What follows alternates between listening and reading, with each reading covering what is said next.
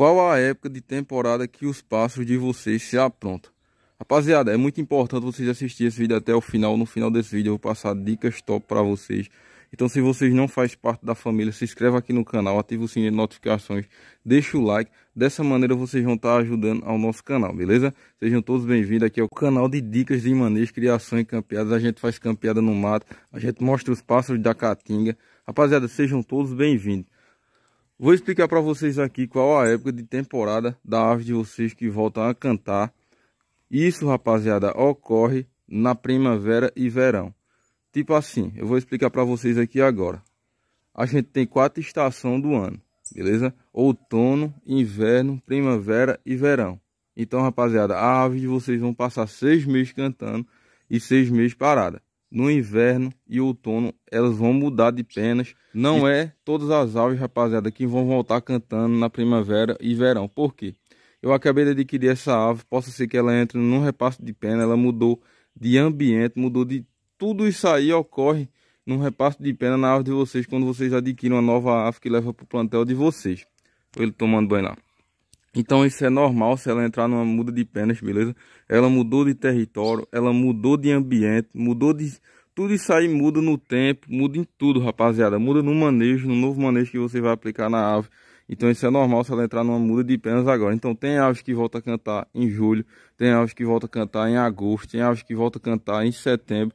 Vai de manejo para manejo. Se você começar a mexer com a ave agora, ela acabou de sair de penas, tá com uns 30 dias que saiu de penas, está enxugando muda. Você começar a mexer com ela dessa maneira aqui, tá puxando um banhozinho de sol, tá puxando todos os dias na, no beral de casa, com certeza ela vai voltar cantar mais rápido, vai se aprontar mais rápido. Isso é normal, a sua ave tá parada aí que acabou de sair de muda de penas, beleza? É normal, porque a ave passou por um período de muda de penas, se maltrata demais, rapaziada, nesse período de muda. Então a gente precisa ter uma atenção redobrada, principalmente na alimentação nas aves da gente, beleza?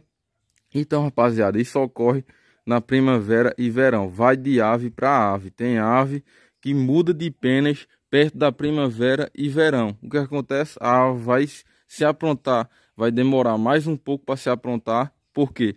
Porque vai ter a ave de amigo que vai estar tá cantando agora demais, estralando, e sua ave ainda não está cantando, porque ela entrou na muda de penas mais atrasada. Isso é normal, rapaziada.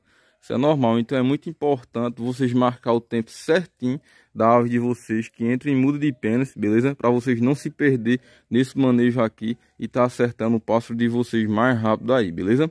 Então isso é muito importante, o banho de sol na ave de vocês, o banho de banheira, isso faz toda a diferença na criação de vocês, beleza?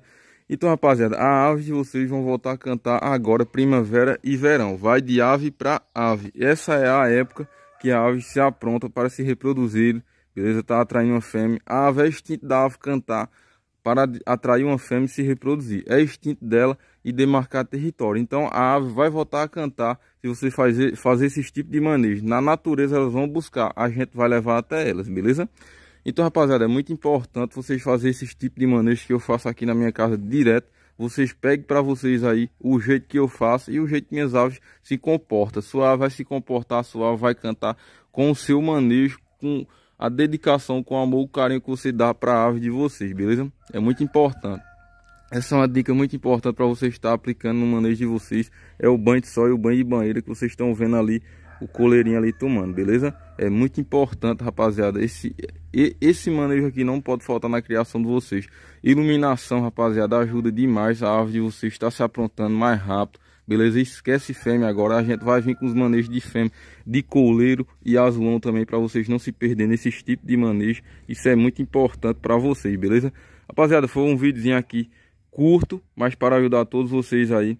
A época de, a época de temporada é agora, primavera e verão, beleza? Fiquem todos com Deus aí, eu espero que eu tenha ajudado a todos vocês. Deixa o like aí para fortalecer, beleza? Compartilhe nas redes sociais. Tá ficando lindão de pena, ali. Tá se secando aí agora, rapaziada.